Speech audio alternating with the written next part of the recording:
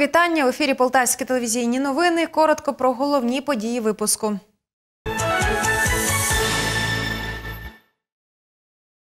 З нагоди Дня журналіста у Полтаві на урочистостях привітали майстрів пера. У Полтавському художньому музеї імені Миколи Ярошенка спростовують приналежність картини німецькому принцу і вимагають незалежної експертизи. Пісня надихає і гартує. У Полтаві відбувся творчий вечір заслуженої артистки України Ярослави Руденко та поетеси Марійки Бойко.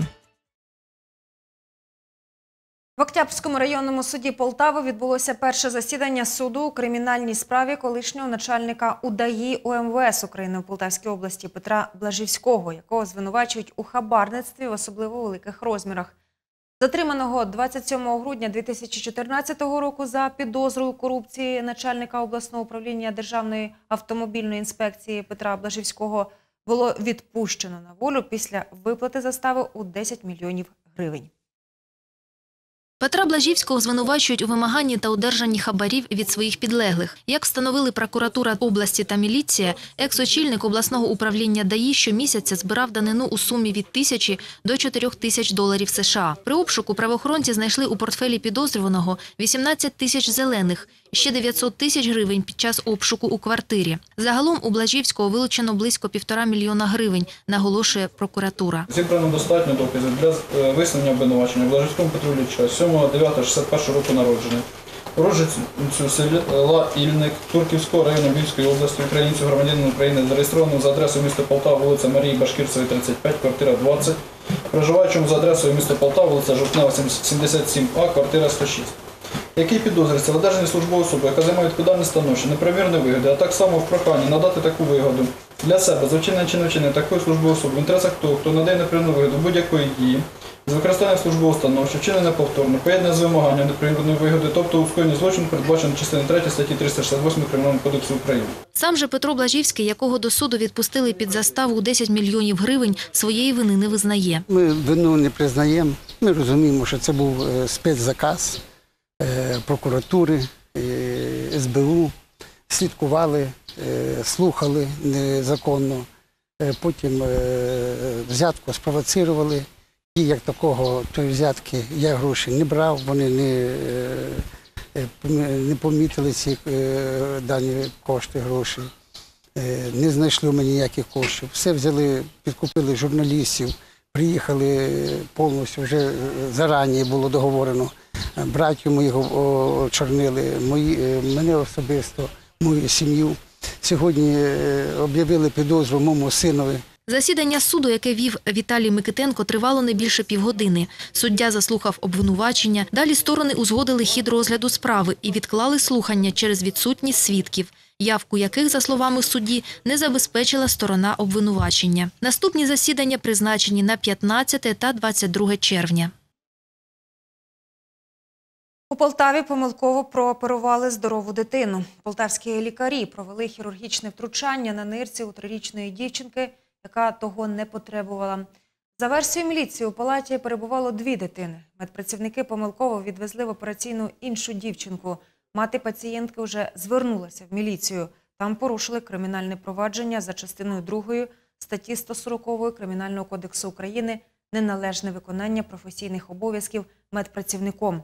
Санкція статті передбачає покарання у вигляді обмеження волі на строк до 5 років або позбавлення волі на строк до 3 років без права обіймати відповідні посади строком до 3 років. У міліції обіцяють справу довести до суду. Сегодня нам поступает информация о том, что врачи начали уничтожать все документы, подтверждающие э, их действительно грубейшую колоссальную ошибку К нам обратилась мать. Сегодня врачи как могут заглаживают эту вину перед матерью, но сам факт имеет место. А, Я взял на контроль указанное дело и постараюсь, э, чтобы мы все-таки его довели до суда и э, такие врачи ответили за такую серьезную ошибку. У Полтавському художньому музеї імені Миколи Ярошенка знайдені картини принца Едуарда Анхальського. Саме так стверджує німецька преса, посилаючись на місцевого музейного працівника, який побачив їх, переглядаючи в інтернеті картини нашого музею. Для спростування цих повідомлень керівники Полтавського художнього музею зібрали прес-конференцію. І німецька преса, і наша українська останніми днями рясніють повідомленнями про виявлені у Полтавському художньому музеї імені Миколи Ярошенка картини із родової колекції принца Едуарда Анхальського. Причому різні джерела публікують різну інформацію. Проте у нашому музеї стверджують, що офіційних запитів до них не надходило. До нас не було жодних офіційних звернень. З, ні з боку нащадка Ангальського, ні з боку німецького уряду, ні з боку інших міжнародних інституцій. Насамперед мова йде про портретну роботу автора Лукаса Кранаха молодшого, що датується 16 століттям. На ній зображений один із пращурів принца Антхальського. Сама картина, говорить Ольга Курчакова, потрапила до Полтави із Москви з так званого обмінного фонду. Він був переданий із обмітного фонду, який був створений спеціально урядом Радянського Союзу після війни для поповнення колекцій тих музеїв, які найбільше постраждали в роки війни. До того ж, сама картина, стверджують у музеї, є лише копією, що вказано у відповідних документах. Тому висунуті претензії взагалі незрозумілі, говорить Ольга Курчакова. Полтавський художній музей втратив під час німецької окупації близько 26 тисяч картин. Серед них були роботи таких всесвітньо відомих майстрів, як Рубенс, Леонардо да Вінчі, Мікеланджело, Караваджо. Їх вартість зараз оцінюється мільйонами. Представники музею наголошують, що якщо і матиме місце експертиза полотна, навколо якого розгорілися пристрасті, то тільки незалежна. І навіть у випадку можливого обміну сподіваються на повернення картин, вивезених під час окупації. Цей обмін він повинен бути просто рівноцінним. Розумієте, якщо ми ведемо, вони ведуть мову про е, роботу Лукаса Кранаха молодшого сина Титана епохи відродження відомого художника, то хотілося б, щоб нам підібрали з того переліку, який у нас є, того, що в нас було. У нас був батько набагато дорожче. А між тим подейкують, що сам принц, якому нещодавно виповнилося 73 роки, збирається звертатися до суду, щоб повернути свій родовий спадок. А між тим у Німеччині при Магдебурзькому центрі втрачених предметів культури існує двостороння комісія, яка займається питаннями повернення творів мистецтва. За інформацією інтернет-ресурсу Mitteldeutsche Zeitung, чергове засідання експертів відбудеться восени цього року. Не виключено звернення, зроблене представниками князівського роду Анхальт, внесуть на порядок денний. Процедура двостороннього повернення творів мистецтва між Німеччиною та Україною існує з 1993 року. –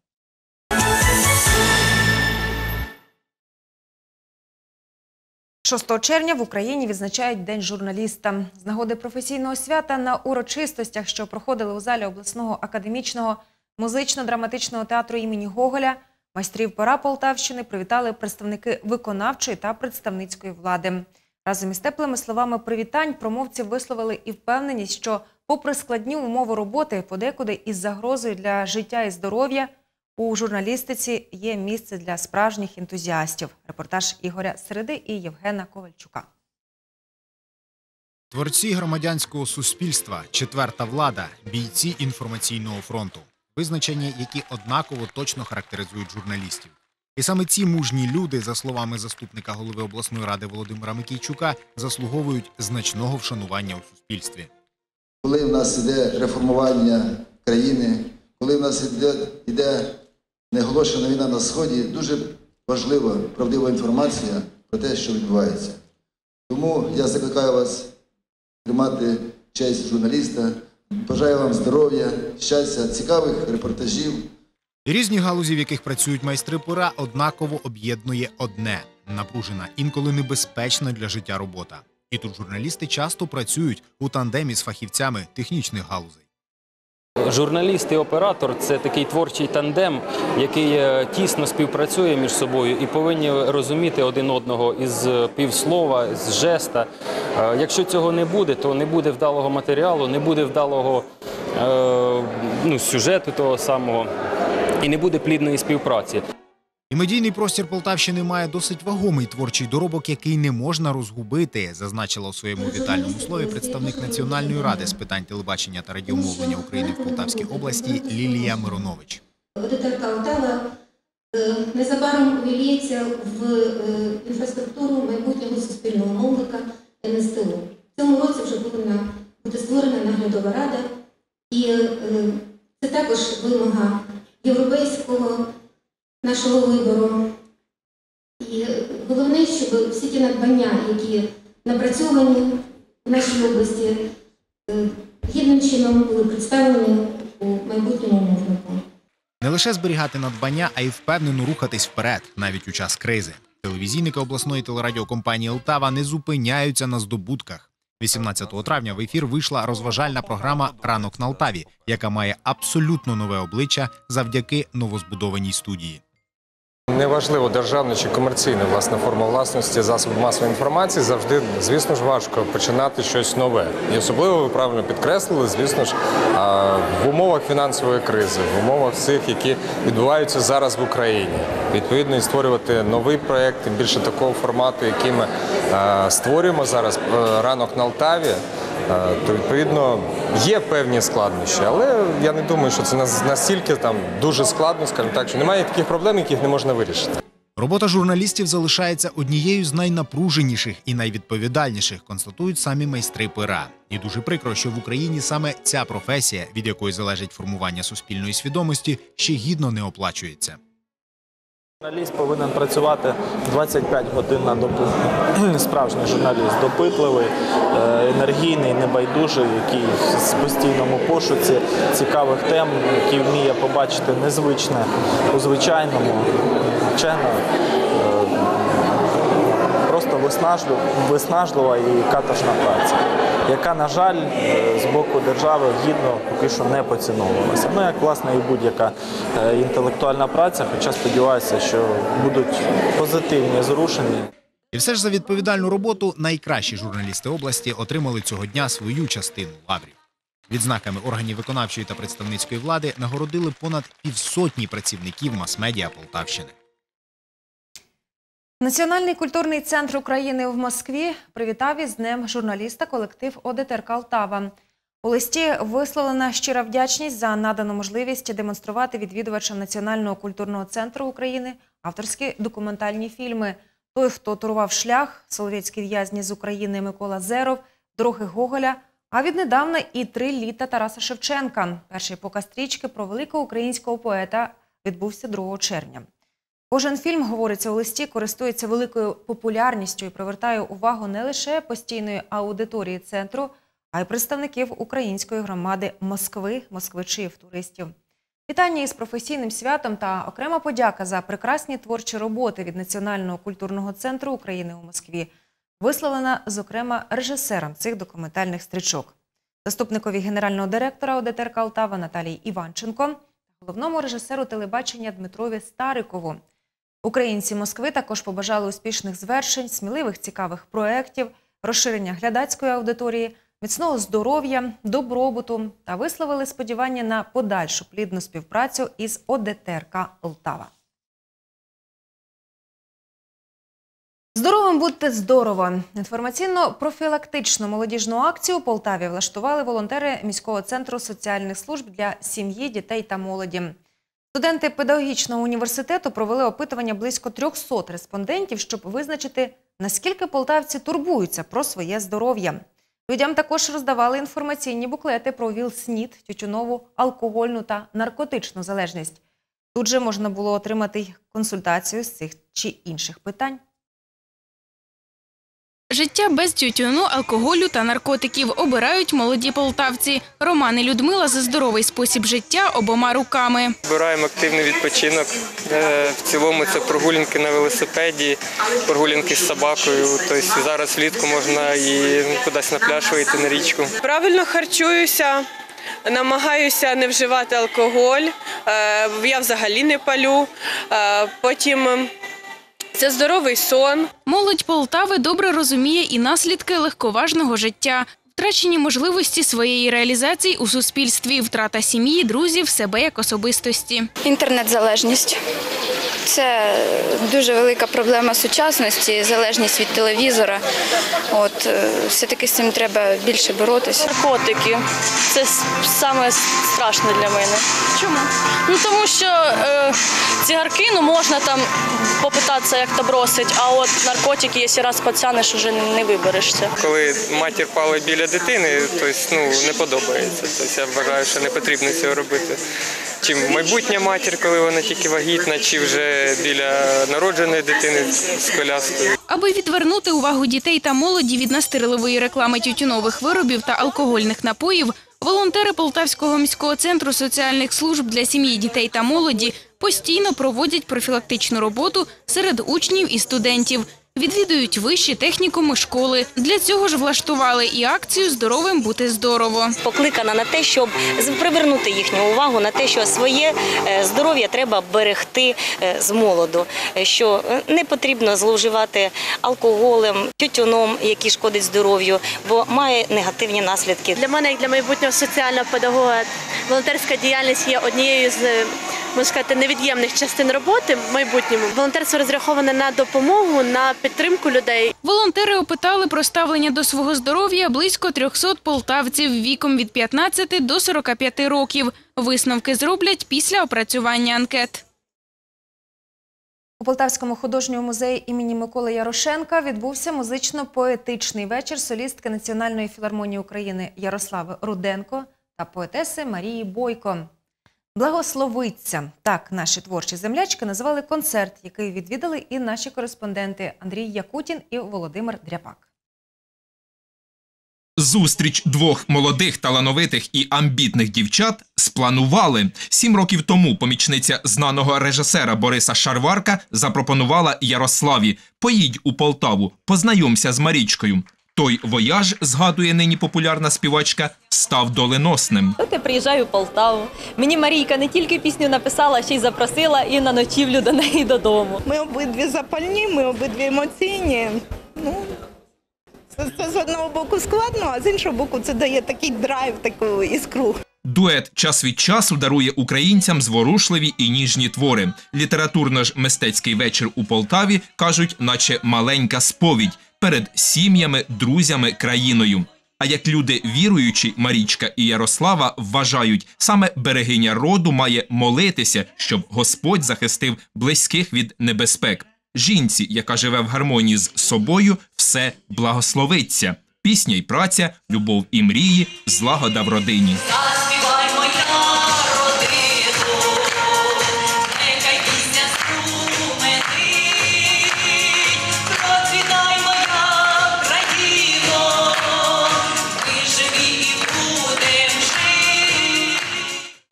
Коли на сході України звитяжці захисники протистоять саранчі ополченцям та російським терористичним військам, дівчата теж воюють. Пісня переконують, зброя надихає й гартує. До речі, обоє співпрацюють з командою небайдужих. Одна часто гастролює на передовій, інша автор гімну вже легендарного полтавського волонтерського батальйону. Загалом же у доробку твори про найсвятіше матір, родину, отчий край, патріотизм, любов і мир. Ми хочемо, щоб уся наша українська земля благословилася, щоб наш український народ благословився, вся наша родина, і щоб все-таки той довгоочікуваний мир настав на нашій рідній Україні. Музика мова універсальна. Поети ж мають словами висловити порив душі.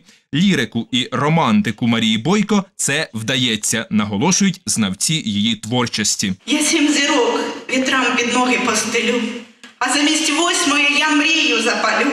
Летіть вітри, туди, де сонце воду п'є.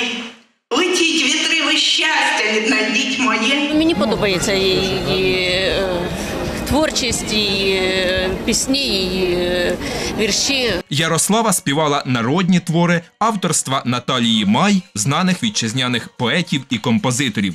Оцінили глядачі й прем'єру. Пісня Немеханічне серце, експеримент співпраці з діджеєм, новий стиль, ритм, звучання. У планах Марії Бойко та Ярослави Руденко влаштувати концерт благословіння у столичному українському домі.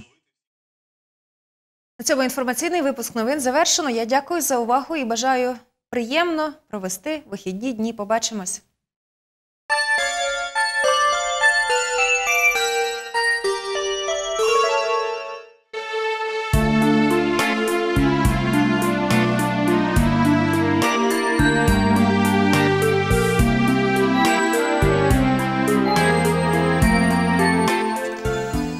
Вночі та завтра в день у Полтаві та області очікується малохмарна, без опадів погода. Вітер північно-східний 7-12 метрів за секунду. Температура повітря по області вночі 8-13 градусів тепла, в день 22-27 з позначкою плюс. У Полтаві вночі 10-12 градусів тепла, в день 23-25 вище нуля.